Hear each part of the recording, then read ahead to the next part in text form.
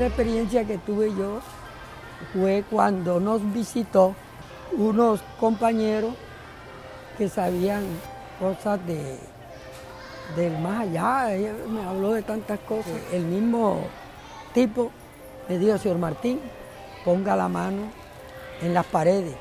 Entonces yo ponía y eso parecía como cuando uno le dan unos corrientazos, pero con, no tan fuerte. Entonces eh, eso me dio como que miedo demasiado y intenté quitármelo por un rato. Me dice, no, no, ya eso está pasando, me decía el mismo tipo que, sabe de, que llame que fantasmales. No es, no es dolor, sino como un peso, de no poder con ese peso cuando se me enfriaba todo. Vamos a poner que, que los pies los sentía como si no iba a poder con lo que tenía porque el, el frío, porque era, porque eso es como cuando uno se congela, que está congelado, eso era lo que yo sentía. Y la lengua, los vellos, todo. Y que yo no sé cómo podía salir de eso. Yo sentía de que, de que eso, eso me iba a hacer algún daño.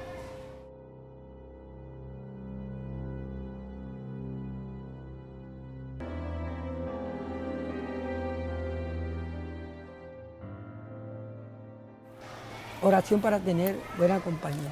A la voz del cielo y la tierra te entiendo, Señor. Y a Jesús de Nazaret, justo fue de Nazaret, hijo de la Virgen María. Fuiste nacido en el monte Yogal de Nazaret. Glorificado, Señor, entre en judería. De hacer yo esa oración, la hice fue con el hecho de que si, si no era obra de Dios, tiene que ser una obra mala, algo que, que pasó algo que, tuvo que suceder ahí. Hubo muerte, que pudo haber quedado ese flujo de, miedo, de terror. Entonces yo, digo que, que, lo que se siente ahí es parte de algo que se hizo dentro del castillo de la Alboraya.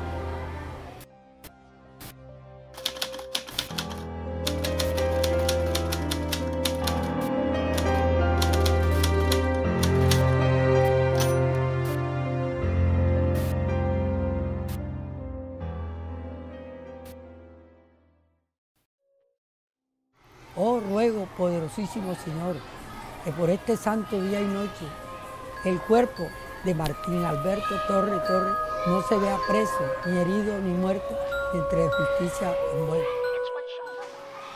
Estas son las benditas escaleras que dan con el clase de, de sentir que alguien está aquí dentro de la escalera.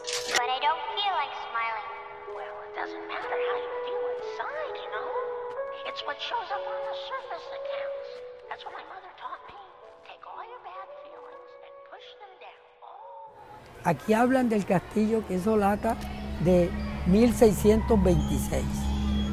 La señora que llora ahí, que tiene una falda ancha blanca, dicen que prácticamente en los túneles había también parte en que había prácticamente un, listado para meter gente y amarrarla y dejarla ahí. Que eso, de eso es que se está hablando. Que el castillo sirvió también para las niñas que trabajaban con ese señor. Eso es lo que cuenta la historia, de que los amarraban. Metieron así unas tres o cuatro, hasta que la señora, cuando él salió, no sé a qué fue a comprar alguna cosa, ella tuvo la curiosidad de meterse en uno de los túneles que tiene el, castillo. Y ahí fue donde ella vio el horror más grande de su vida, que encontró esos cadáveres. Eso es lo que habla la historia de que ella al ver eso se enloqueció, se volvió loca y entonces hizo lo mismo que hizo con las muchachas, la hizo con la propia mujer de él. Los que andan ahí quieren quedarse ahí.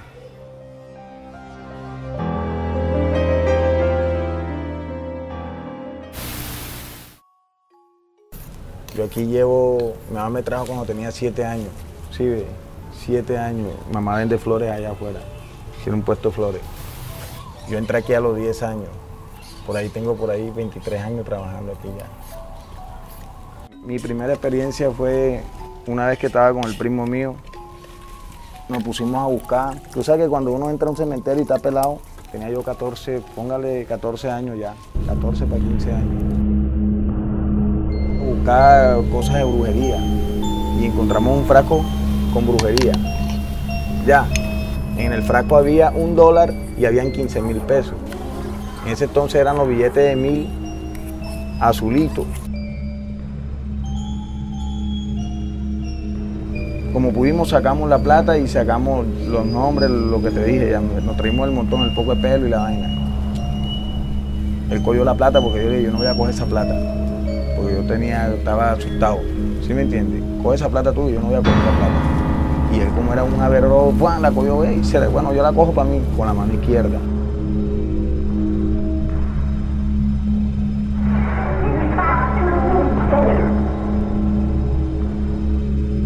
soy el, frasco. Yo el frasco lo estrellé contra una tumba allá atrás, una tumba aquí. Estábamos solos, eran como las 5 de la tarde, 4 y media para 5, 10 semanas, me acuerdo yo. Y yo lo estrellé así en un rincón. Cuando yo partí el frasco, lástima que no está el primo mío aquí, ahorita estaba allá afuera, salió un quejido, se escuchó un quejido así como, como, como cuando una persona está, o sea, ¿cómo te puedo escribir, cómo te puedo escribir ese quejido? Eso fue algo como, como, ah, algo así, pero, mira, te, te enrizaba lo ve cuando deciste que nosotros arrancamos a correr. Corre, corre, corre, corre, corre, corre, corre. Yo llegué donde mi mamá no podía ni hablar. Y de ahí para allá empecé a encontrar, bueno, ya fui cogiendo con más experiencia y encontrar más brujería encontramos más, cuestiones de lo que eran unas velas negras, dos velas negras, dos mujeres en cuera en velas negras, con nombres, alfileres, ¿sí entiendes?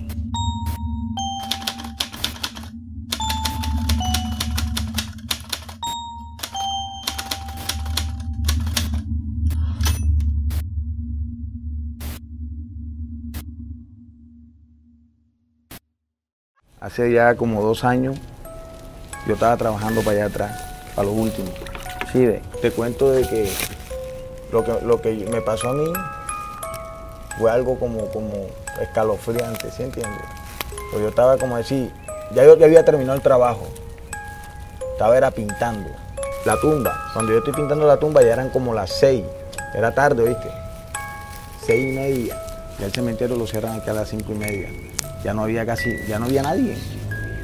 Yo estaba en lo último aquí subiendo, para la tumba allá atrás. Y cuando yo estoy pintando, yo siento que a mí, cuando una persona te llama que te hace... Te hace creer que yo sigo pintando. ¿Oíste? Y vuelven y me hacen así. Pero más duro. Cuando me hacen así, yo lo que hago es que volteo para atrás y yo no veo a nadie. ¿Sí me entiendes? Yo dije, este tiene que ser uno de los pelados, me está asustando porque ya era tarde, ya estaba oscuro ya, ya yo me sentía, ahí, sí se me enrezaron los vellos. Cuando me volvió a hacer otra vez, yo vine, cogí y la brocha la dejé, la dejé caer en el suelo. La dejé caer en el suelo y yo salí corriendo.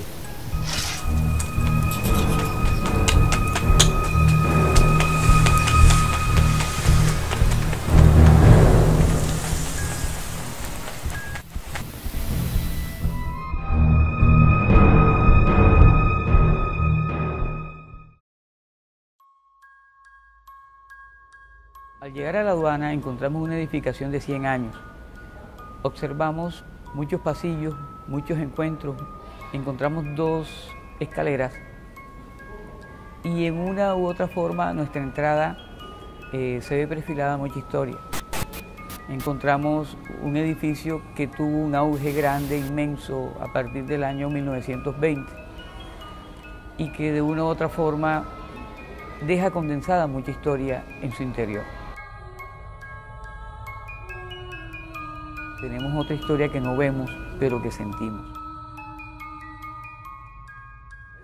recuerdo yo el 3 de octubre de 1994, como era un solo, como era único funcionario del Archivo Histórico del Atlántico, estaba cansado, me tocó descargar toda la información notarial, que eran como 5.000 libros, y yo pensé que era el cansancio que me, que me hacía ver eh, cosas raras en el depósito. Y como tipo 5 de la tarde, al final de la estantería, que era una estantería nueva, moderna, pero estaba vacía, vi una mujer. Se ha conservado vestigios, se ha comprobado que existen eh, osamentas en esta necrópolis y estamos bajo un cementerio indígena. La segunda premisa fue que este edificio en 1916, estando en forma preliminar, hubo un incendio y existieron varios muertos. Yo le pongo fundamento histórico por hechos que sucedieron, son dos hechos conducentes, y veo y observo de que esta persona tiene que ser parte esencial de todos los escenarios.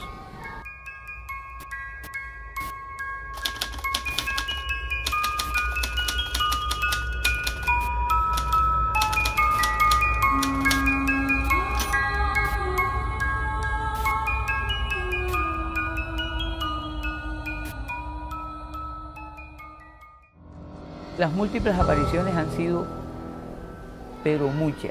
La que más me, me llamó la atención fue que me tiraron un bolígrafo de la mesa.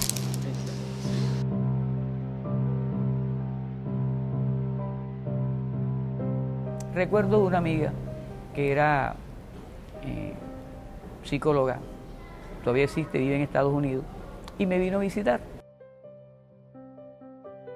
me dice ella, Elkin, aquí hay algo raro. ¿Qué te sale aquí? No, yo veo una señora que siempre está hurgando todo, va buscando las escrituras con, con, algo afanoso. Y también la veo agachada me dice, no, Elkin, lo que tú estás viendo agachado no es la señora. Aquí hay otra, otra, otra persona, aquí hay una niña.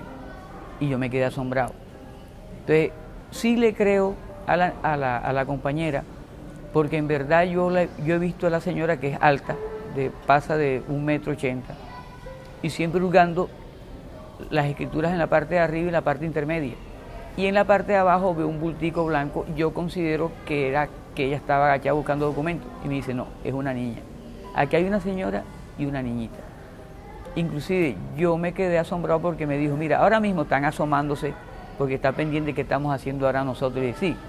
Entonces, en verdad, situaciones como esa me lograron comprobar que lo que estaba viendo yo tenía un efecto valedero, que no estaba loco, que no estaba viendo alucinación. Entonces es mi concepto y, y los dos fantasmas los tengo en el archivo histórico. Yo me tropiezo con ella, me tropiezo con, ah, en este caso, bueno, ahora sé que es la niña, y no tengo, ninguna, no tengo ningún temor. El contexto histórico es inmenso, son 100 años dentro de de un cementerio indígena dentro de un sitio donde hubo mucha gente, donde existió mucha mercancía. Todo eso va aunando a un sitio netamente histórico. Y que si nosotros establecemos una dualidad con el efecto mm, que no vemos, con esa vida que no vemos y que se condensa por X o Y estado de temperatura, eh, se puede justificar de que tenemos otro, otro mundo, tenemos ese mundo natural, tenemos ese mundo que no vemos. Nosotros no estamos solos. A nivel de galaxia no estamos solos. No nos podemos dar el lujo de ser los únicos que estamos en un planeta que reúne todas las condiciones de vida, porque la galaxia es inmensa. Somos apenas un puntico de una galaxia inmensa. Debemos manejar los efectos dimensionales. Somos energía. Nosotros apenas estamos en la primera etapa de la vida. Tenemos que morirnos para seguir viviendo y escalando una vida diferente a esta, pero tenemos que seguir un camino de vida. Y aquellos que no creen, créanlo, que el efecto paranormal existe, que hay seres de otras galaxias viviendo en mejores planetas y en mejores estadios de vida, que están más desarrollados que nosotros y que de una u otra forma debemos aceptar que no estamos solos en el universo.